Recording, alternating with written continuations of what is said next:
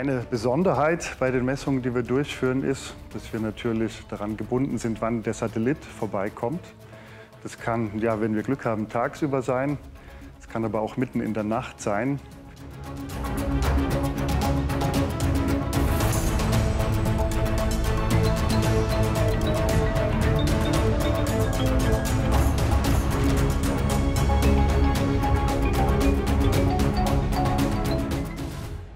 Wir sind hier im Institut für Kommunikation und Navigation, das DLR in Oberpfaffenhofen. Und was wir sehen, ist die optische Bodenstation Oberpfaffenhofen. Wir beschäftigen uns im Institut ja inzwischen seit knapp 30 Jahren mit optischer Freiraumkommunikation. Das hat angefangen zum Beispiel mit Experimenten von Stratosphärenballons zu Bodenstationen oder von Flugzeugen zu Bodenstationen. Und der nächste Schritt war dann, auf Satelliten zu gehen. So der klassische Anwendungsfall ist die Datenübertragung von Satelliten zur Erde.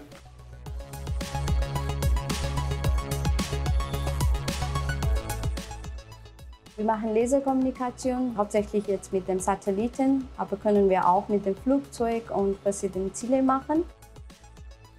Dafür brauchen wir den Bodenstation und den Software, das den Bodenstation steuert. Es ist wichtig, dass äh, die Satelliten und Bodenstation einander äh, aus, gut ausrichten und tracken kann, damit wir den Signal von Satelliten äh, alles mitbekommen. Und da ist auch ein besonderes Augenmerk ähm, reingeflossen bei der Entwicklung der neuen Station, dass wir eben eine sehr genaue Ausrichtung von der Station zum Satelliten oder zu anderen Kommunikationspartnern erreichen können. Wir haben unsere neue Teleskop bekommen, das ist 80 cm äh, groß.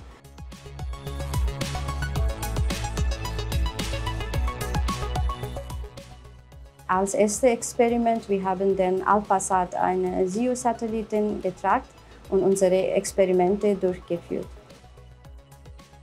Mit dem größeren Teleskop haben wir eine ganz hervorragende Messanlage.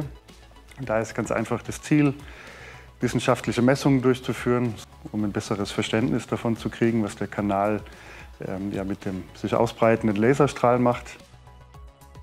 Basierend auf dem Wissen, das wir aus den Messungen generieren können, sind wir dann eben in der Lage, bessere Systeme für die Datenübertragung zu bauen, für die sichere Kommunikation aber auch für andere Systeme, wie zum Beispiel äh, zukünftige Satellitennavigationssysteme.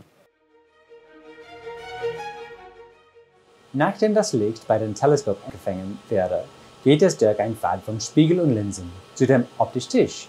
Der steht hier im QD-Labor unter dem Teleskop.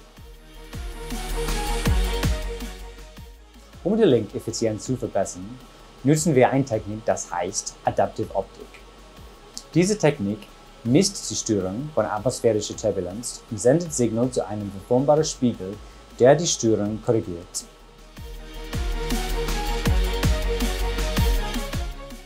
Die optische Bodenstation Oberpfaffenhofen ist ein super Messinstrument für uns, um ganz einfach hier das Wissen zu verbessern, dass wir in Zukunft effizientere, bessere und leistungsstärkere Systeme bauen können.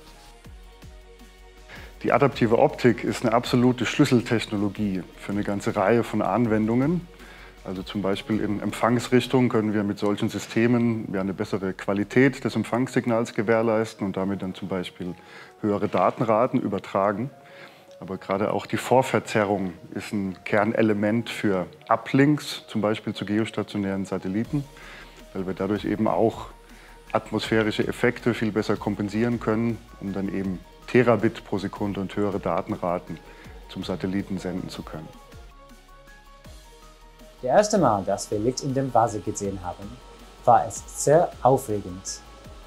Das repräsentiert viel Arbeit und Vorbereitung.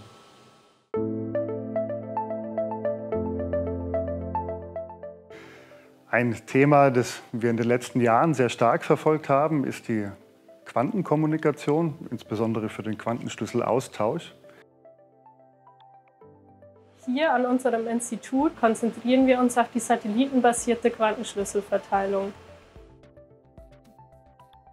Momentane Verschlüsselungsverfahren basieren auf mathematischen Annahmen.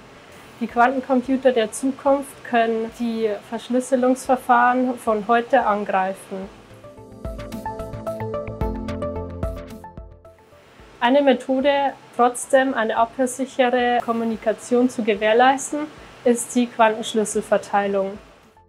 Mit der OGS haben wir eine Forschungsumgebung, mit der wir dieses Quantensignal empfangen können und auch analysieren können. Und es ist tatsächlich so, dass es durch physikalische Prinzipien gegeben ist, dass die Schlüssel, die ausgetauscht werden, äh, nicht abgehört werden können. Das heißt, wir leisten da einen wichtigen Beitrag für die Cybersicherheit in der Zukunft. Die optische Bodenstation geht tatsächlich auf über 20 Jahre Erfahrung mit dem Thema zurück. Also wir haben die Vorgängerstation ab etwa 2004 aufgebaut, haben die stetig weiterentwickelt.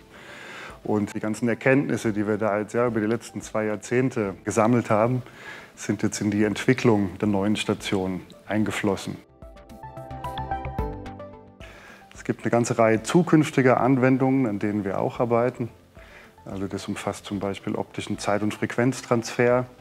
Das ist eine sehr vielversprechende Technologie, äh, von der wir dafür ausgehen, dass bei zukünftigen Generationen von Satellitennavigationssystemen wir das hervorragend einsetzen können.